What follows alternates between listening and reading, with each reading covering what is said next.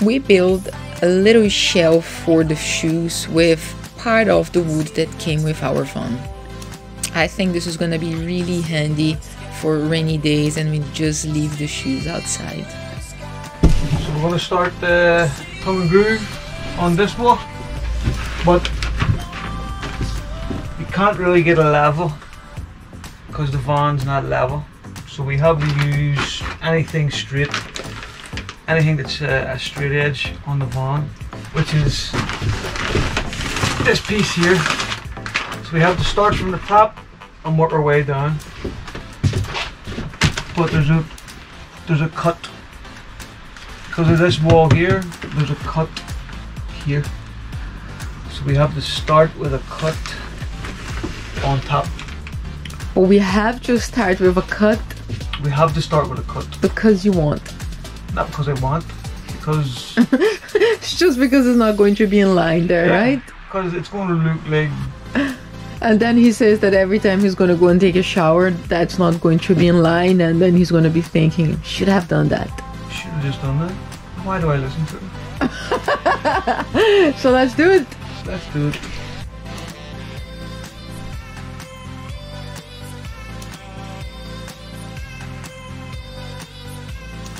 Today, David's sister came down from Belfast to visit him, so I decided to work by myself and just keep the project going. It was an easy task anyway, I was just putting the wall, and then you can see under the support for the wall. Uh, I didn't really want to buy plywood for it, so it doesn't look good that layer under the wall, but at least we used all the wood we had from the van, the plywood that was on the van, and it was enough to give us the support we needed to build the wall.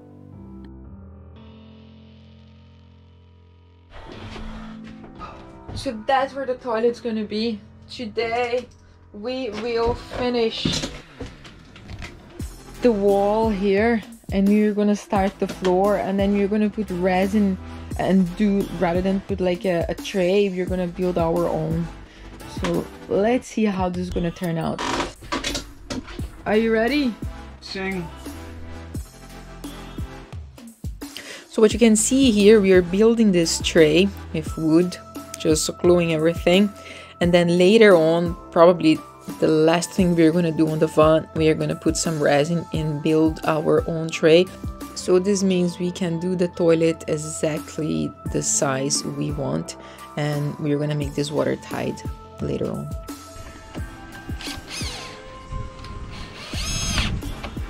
Go to the other side now Ah! Just buying a tray is of course much easier, but being able to have the toilet exactly the size you want, it's much nicer. We have the insulation here on the floor and you can see that we have the wood. So the reason why this is high here is because we're gonna build a floor heated, but we need to put more stuff here. But for now, because we are moving, we want just to put the toilet the bottom like the the toilet tray in here with the dump barrier and we have another one under just to finish up this before we move. But basically that's it. We have the plastic we have the insulation we have this to give some support and we're gonna start the shower tray there. And this is gonna be the layer the tongue and groove for the floor that we are gonna put today. Oh, sorry recording me dancing. it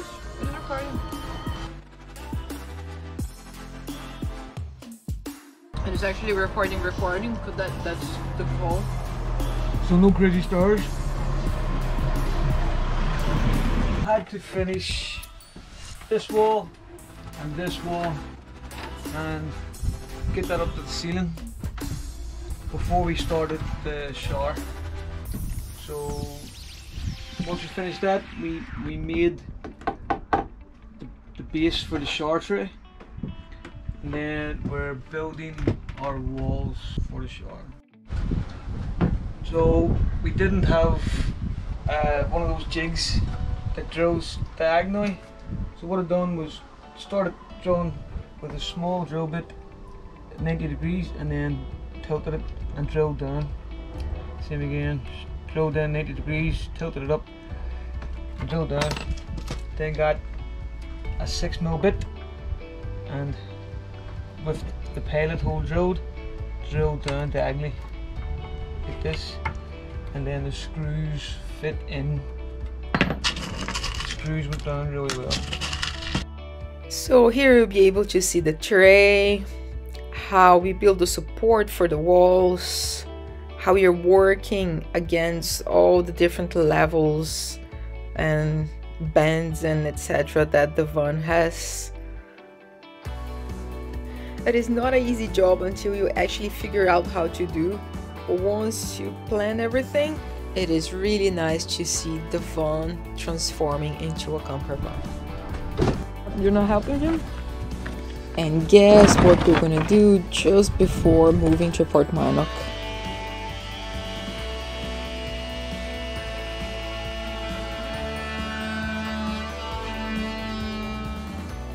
We thought we were going to be moving today, but once we got to the apartment, it was disgusting, really, really dirty. Uh, we even found a used condom under the bed, so there was no way we were going to move. We need the apartment cleaned before we move in, so we're back in Rathmines, and then we're gonna get the the roof ready, and and then we're moving in two or three days.